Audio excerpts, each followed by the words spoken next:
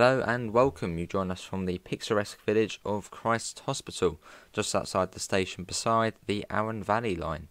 We will be walking the full 19 miles between Christ Hospital and Shoreham by Sea, following the old trackbed of the Steyning line through the gorgeous Sussex countryside from the wooded area of North Sussex through the fields and onto the south coast of this historic county. Along the way, giving facts and showing you historical footage of this once quaint railway line. You can see where we are currently and where we are heading. Intermediate stops being Southwater, Copsale, West Grinstead, Partridge Green, Henfield, Steyning, Bramber, and Shoreham by Sea. First fact, the Steyning line opened on the 1st of July on the 7th of March 1966, serving the local communities for 105 years. It shut due to the rise of people getting cars and other road vehicles, which were much preferred over the old and slow train. But times are changing once again. So, without further ado, let's get going on its journey to the coast. And first stop is Southwater in around 2.3 miles. The first part of the journey takes us along the road towards the Christ Hospital School, which was founded in 1552. At this point, we are off the railway as the Steyning line hasn't yet split off from today's line. Once we are off the road, we come onto a path passing the school with its tower very much in sight. Then we walk alongside the railway for a few hundred metres before we come up to the original, original Itchingfield Junction. This is where we split off away from the Arun Valley line and head southeast towards the large village of Southwater. It's a steady downhill gradient and a distance of around 2 miles. Making our way along the first proper section of trackbed now, there are signs of what came before, the obvious one being that we are on an embankment. We can also see a road bridge crossing over the line which was built long before the railway shut. Cattle creeks are also present as we progress further along. These allow the safe passage of animals from one side of the line to the other. The most relaxing thing about walking along railways is that they tend to be flat, or to the eye at least. Mooching along as we pass many pastures and farms which have once been neighbours with the railway since the beginning. As we approach Southwater, we come across something that is very common on abandoned railways a new housing development. With the building of the railways, many villages became towns and places grew and grew, now even onto the railways that first started the boom. A reason for this was that people could easily travel into the local town or city, so no, no longer had to live within the city and could work, uh, well, could travel to work with ease. And as we come into the centre of Southwater, we go under a very suspicious looking station bridge, and under that, a small part of the original platforms. Back in the 1960s, Southwater's population was relatively small, and most of the people living there were working in the clay pits. Nowadays, the village centre is a nice modern place to meet people, being redeveloped back in back in 2006, with plenty of shops and eateries and other pleasant places to sit down and chill out and meet with people. We are now here on the map, you can see it on screen, so still a considerable distance to go, around 17 miles. The next stop along is Copsale, which is around 1.2 miles away, so let's continue on this disused railway ramble. Now leaving the centre of Southwater, there is another big clue to what came before, one of the roads next to the track being named Station Road. We run between Station Road and Southwater Country Park, a great place to take the family or go for a chilled out walk, even to go onto the lakes. One thing which made Southwater was the brickworks. This shut down in the 1980s and left behind a few clay pits, which if you hadn't figured out by now, the clay pits are actually the country park lakes. So everything what they dug out years ago, you can now boat on. This is where we start to leave Southwater. Next to the road you can see the old bridge abutment still standing today, although only on one side, meaning the other was likely taken down or has been lost to nature. And then we then come back onto the embankment due to the little deviation near the country park due to the dual carriageway being built, which means vehicles can bypass Southwater. The track bed has been built over, meaning we have to go off the course of the railway and dive uh, under the A24. Once under the A24, we then come back onto the embankment and then back into the countryside and away from the bustle of Southwater. And we now had a short way along to Copsale, and at this point, we are heading back onto the embankment and then on that, the rest of the way to Copsale which is fairly close as we continue our journey. We soon enter the hamlet of Cropsell. Not really a lot going on here, and truly is a small little place with the village hall, a post box, and an old pub, which has now been demolished and turned into a home. Although outside the original pub location, an old sign can be seen called The Bridge, showing an image of a steam train going across the road, which would have been right here. Cropsell did not really have a railway station, hence why it hasn't grown much in many years it has been about, but instead cut through um, by the line. Not a lot of information on the hamlet, although looking at the houses and buildings around it definitely predates the railway, probably housing the more affluent workers of the clay pits and slowly built up as the railway came through. And out of Cropsell, you can see where we are now on the map. We're about three miles away from Christ Hospital, so it's been about an hour's walk so far, and still 15 miles away from Shoreham. The next stop being West Grinstead, which is just under two miles away. So we now start to leave Cropsell, now heading back up onto the embankment uh, and heading to West Grinstead. This section of the route is quite wooded and not a lot can be seen. Uh, you are on the quite a high embankment at this point. Just like on previous sections, you can see a cattle creek. As not a lot can be seen or said about on this section, let's have a fact. The line was opened in two phases between Shoreham and Partridge Green in July 1861.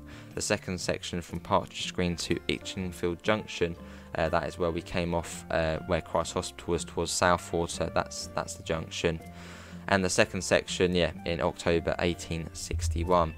And another fact before we arrive at West Grinstead in 1863, British Rail carried out a survey to see how the line was doing when it came to number of passengers. They did it in two halves, one during the summer and one in the winter. In both, it was between 12,000 and 13,000, although during school holidays, significantly lower due to most school kids taking the train to school, which, as opposed to that, other lines was not really that profitable. And into the most revealing part of the trip so far, the amazing station here at West Grinstead, which has been kept nearly, well, near enough intact uh, well, the platform, at least, although it is slowly falling into disrepair with barriers now stopping you from going up onto the platforms, which are fairly a fairly recent addition. You, could before get onto the um, platforms and stand and sit on them.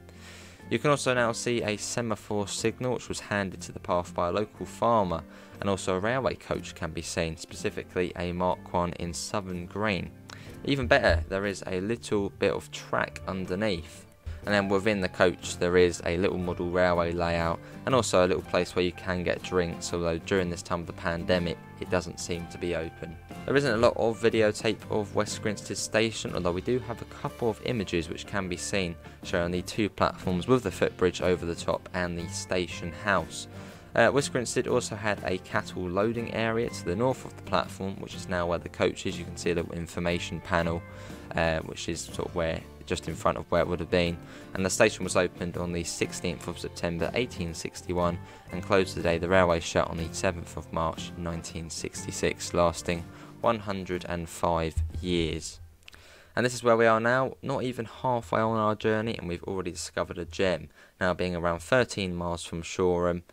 And the next stop on our journey being the village of Partridge Green, which is around two and a half miles from West Grinstead. Due to the road being widened and improved, the old bridge was demolished, and it's said now you have this, which takes you under the A272. As we make our way from West Grinstead station, we actually get closer to the actual hamlet of West Grinstead, as the station was built slightly further back from where the village actually is. We head through a woodland area before it starts to open up to open fields, even getting a glimpse of the towering South Downs, uh, where we will be going past later on in our journey. As we head along, we come across the usual cattle creeks and even seeing this lone tree in the field, reminding you of some sort of PC background. This is the beauty of travelling on old railway, seeing the beautiful countryside all around, a great chance to explore the country if visiting from abroad, or even if you're local, come and enjoy the outside, I suppose get away from the city of London, just get away from the busy places, and just enjoy what the countryside has to offer. As we get closer to the village of Partridge Green, we come back into a woodland and onto a raised embankment. Another fact about the line is that Southern did excursion services which came down from London to the South Downs via the Steyning line. These were special as they meant people wanting to see the magnificent sunrise once they got to Steyning they would disembark and walk up to the Chanctonbury Ring to get a view of the sunrise um, over the channel. At this point we walk along a few hundred metres or so then come off the track bed and walk along the road. This is as there is now an industrial estate on the original path um, and also where the station once was you can see uh, the houses uh, where it is now. And this is where the station once was, just to the right of the road bridge, which runs, uh, which once went across the railway, now nothing. And here is the station at Partridge Green in all its glory, this being shot back in 1966, a couple of months before the line shut, subsequently meaning the end of the station. The station opened on the 1st of July 1861 and has two platforms, a signal box and a couple of sidings for uh, freight storage. And just a short walk along the road is the village uh, the station serves. Quite a small, quaint village, although has grown over the years a little, having just six houses back in 1840. Although the name originates back to 1332, when a family with the name of Partridge owned the, owned the land where the village is now built on. The railway really grew the village. Uh, anyways, back to the line. So you can see where we are on the map again uh, around seven and a half miles from Christ Hospital. So it's been about two hours since we started our walk. Uh, and the next stop is the largest of the villages, which is Henfield. For the next 200 300 metres, we are walking alongside the road due to the building over on the railway's original path. Then, after turning off the road, it's a short walk to reach the old track bed again. And now we're back onto the original course of the railway. Surprisingly, we are going up a gradient at the moment, which it doesn't seem like. It almost seems like you are sort of just flat going the whole way along. But that is, well, sort of how railways worked. The grade had to be really gradual, as otherwise the train's wheels wouldn't be able to grip and then you wouldn't get very far. At this point in the journey, we are just about halfway between Christ Hospital and Shoreham and here we stumble upon an old pillbox which dates back to the Second World War when Home Guard soldiers used to stand guard 24 7 and anticipate the German invaders to come up the river and along the railway on their way to London. Fortunately, that never did happen, although the pillbox still stands guard while slowly crumbling apart. And this is where the railway first crosses the River Adur. While we still follow all the way down to Shoreham, the bridge was a target for German bombers in the war. Back to the river, the river starts just north of where the Steyning line begins, starting at Slinfold, uh, which is actually on the Cranleigh line, so that's just past uh, Christ Hospital, uh, and it runs 20 miles down to Shoreham. The name is thought to be from a Roman fort named Portus Adurni. And then carrying on from the bridge, we head into a bit more of a wooded area on a slight embankment, still making our way uphill as we head towards Henfield. Not too much to spot on this section, apart from the embankment, as well as a small cutting, even another pillbox nestled within the undergrowth, which is sort of just hiding there.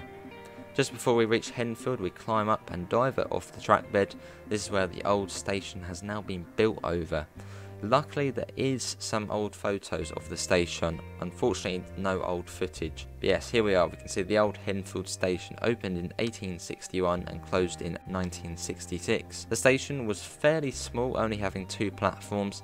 You can see where we are on the map now, just under 9 miles to Shoreham, the next stop being Steyning, which is just over half of the total distance now to Shoreham, being 4.8 miles away. And once you actually do come off the track bed, we do walk past the old railway pub, which sort of gives away what used to be in place and has some old semaphore replicas on the side of it. The pub is situated on the junction of Upper Station Road and Station Road, another clue about what was once in its place. We then walk down Station Road, which passes the old bus garage down to where the eastern end of the station was within the Beechings. Quite ironic, the name as Dr. Beechings was the one who shut down the railways. And a little bit about Henfield before we do pass it. It's a village not to miss.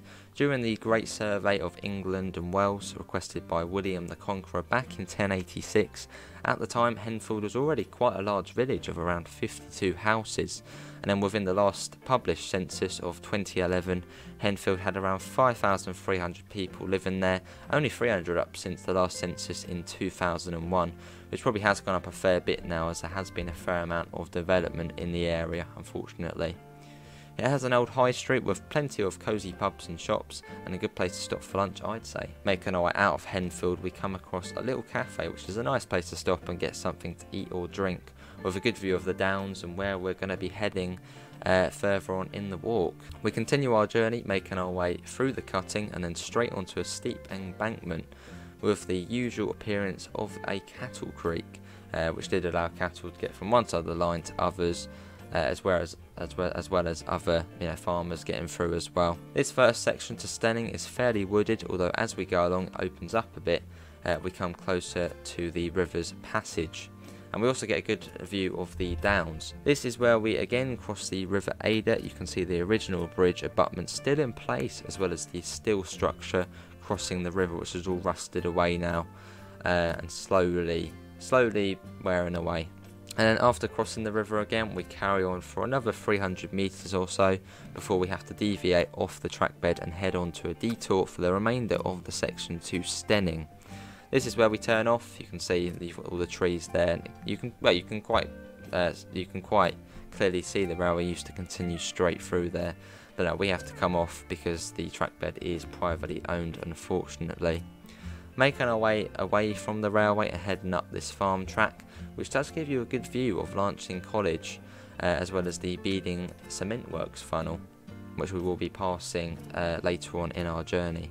We walk along this farm track for a few hundred metres.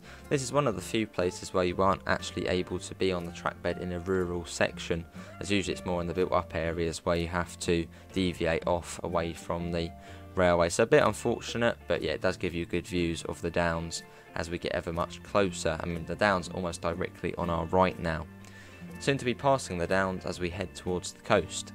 This is the point where we stumble across a bridge, still standing over the track bed as it has for years on end.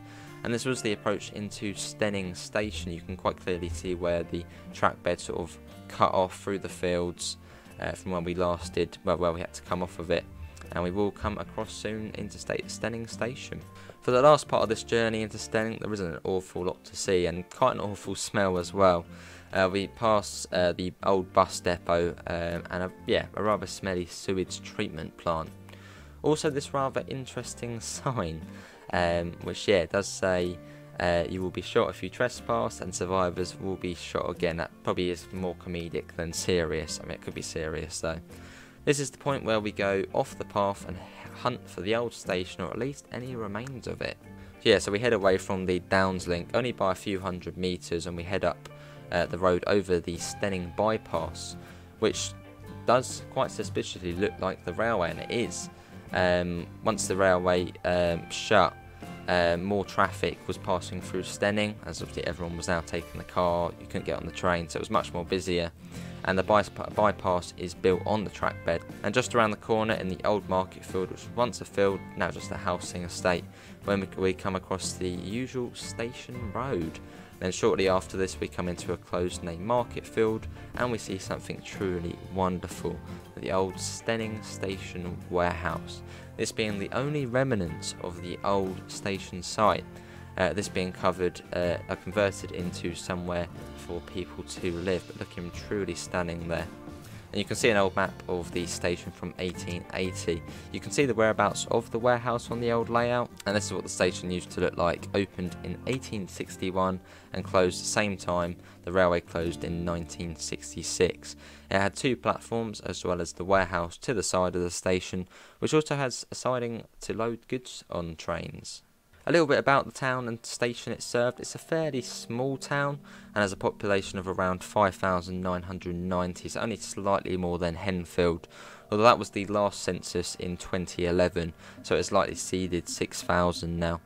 It's a very old settlement dating back to Anglo Saxon times and actually once used to have its own Saxon port, but that's no longer there due to the lower river of the Adur being stilted up, stopping the ease of larger vessels getting up the river, so the port is now subsequently down in Shoreham at the mouth of the River Adur. Now leaving Steyning, this, this next section is the shortest of the journey, being only around half a mile to Bramber. To Shoreham it is just over four and a half miles. So we now make our way out of Steyning, getting back onto the Downs link. The railway ran where the bypass now is, so not easily accessible on foot and especially safely. Making our way through Steyning towards Bramber, we see signs of a castle, the main hint um, being this lane being called Castle Lane. On the last little stretch to Bramber Station, we walk past the mound where Bramber Castle once grandly sat upon. And this is where Bramber Station once was, now a roundabout on the bypass. This is the station when it was still around, a small two platform station serving the village of Bramber. You can clearly see where the uh, castle mound in the background. Like Steyning, it was opened in 1861 and closed in 1966. Now a little bit about the castle, as you can't miss it. Bramber Castle first came about in 1073 and was built by the Normans, having recently arrived in the UK in 1066 after the Battle of Hastings, a very, very famous battle in English history. The castle had a, well, it was a moat design to it, which is now barely visible, as well as a curtain wall, which was an outer defensive wall to the main castle. This outer wall collapsed in the early 1500s due to an outer wall being constructed in 1209, slowly over that 300 years or so, weakening the land, uh, well, consequently meaning it collapsed. Since then, the castle has slowly crumbled, as well as castle stones being used for other things around the area, leading to what we have today. The village itself has a small population of 753, although that was of 2011, so has likely risen. Oh, and that also includes the small settlement of Botolphs to the south, which is another small, tiny village. This is now the last section to Shoreham, being just over 4 miles and now just under 15 miles from Christ Hospital. We say goodbye to Bramber as we head further south, and we also soon get back onto the path of the railway, crossing the bypass and heading into the countryside again. Views around here are fantastic of the Downs and the surrounding countryside. And this is where we meet the South Downs Way, uh, the staggering 100 mile track along the Downs between Eastbourne in the east and Winchester in the west. Walking along a short stretch of the South Downs Way, which takes up uh, takes us up across the bank of the Adur and then we then cross the Adur going across the bridge. Uh, and this is a slight deviation from the course of the railway, which did uh, continue further south from where that South Downs Way sign was. It continued down there and crossed the river slightly later on.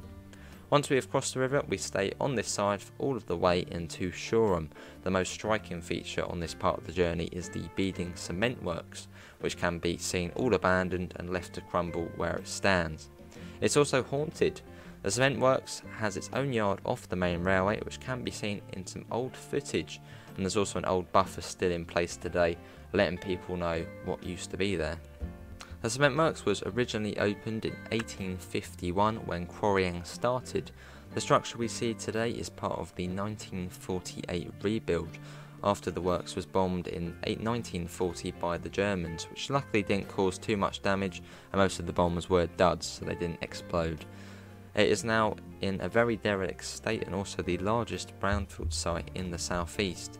Not that it's going on with the site at the moment. And we now continue our walk alongside the river down to Shoreham. There are some great views to catch of the Lancing College Chapel, which is the big building you see on the side of the adjacent hillside.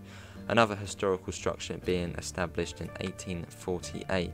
It is a boarding school for boys and girls between 13 and 18. After following the river for a fair distance, we come up to the Shoreham Bypass, which can be seen as you go along the trail, appearing as vehicles flying from a distance. And also this little statue, which you can see, or little bench actually, which you can see of a little steam train, which is quite cool. Going under the Shoreham Bypass, this was completed in the early 70s, and the South Coast A27 runs above it. This was built over the railway during its final years before the bypass traffic on the A27 would cross over the Shoreham Toll Bridge, which still stands today and is one of the last of its kind in the world, being built in 1782, although reopened in 2008 by Prince Andrew as it underwent work and this is just along from the bypass around 200 300 meters from it. There is there is even some old track in place where the level crossing and signal box once stood. And after the toll bridge the railway climbed up to join the west coastway line just west of the modern day railway station it was a very steep climb up to the station uh, in fact, if a train did actually end up getting stopped just after Shoreham Toll Bridge, they would have a right time trying to get started again and would usually need an extra loco to come behind and push them up the grade. So most of the time the signal was clear and trains could get straight up the grade without an issue. And you can also see the Adur Bridge crossing over uh, the river. This is the modern day West Coastway line. The railway curled away from the river as it went up. One side of the old bridge can be seen, although unfortunately the other side was demolished fairly recently to make way for more housing. And a little bit about Shoreham before we do conclude. It's a coastal town with a population of just over 20,000 as of the 2011 census, likely much higher now due to the ton of new housing which you can see all around and which has even been built on the railway unfortunately. It has an old high street with plenty of character as well as the place to moor up boats and the Adur ferry bridge which swings. This new bridge was completed in 2013 to replace the old original wooden one. And here we are, the end of our 19 or so mile journey, just outside Shoreham by Sea Station. Hopefully you've enjoyed this documentary and perhaps maybe even learned a couple of things. And maybe you'll even consider going for a walk or cycle on the journey uh, to uh, enjoy it yourself. Apart from that, thanks all for watching and we'll see you next time.